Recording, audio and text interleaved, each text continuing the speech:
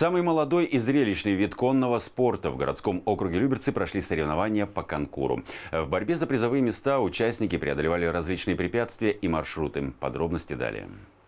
Проливной дождь субботним утром не помеха для настоящих спортсменов. Десятилетняя Вероника Мамонтова и Лагуна выступили одними из первых. Этот тандем образовался совсем недавно. И вот они уже перед большой публикой показывают свои умения. Мне просто очень нравится ездить на лошадях, ухаживать за ними. Мне просто как бы приятно с ними быть. Я очень долго искала свою лошадь, которая мне подойдет.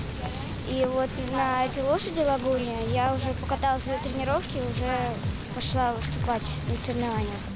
За звание лучшего боролись воспитанники клубов со всей Московской области. Всего 50 участников в возрасте от 3,5 до 35 лет. На две возрастные группы предусмотрено 33 призовых места. Несколько номинаций. Есть э, зачеты э, и определенные высоты от лежащих на земле палочек до высоты 80 сантиметров с джокером.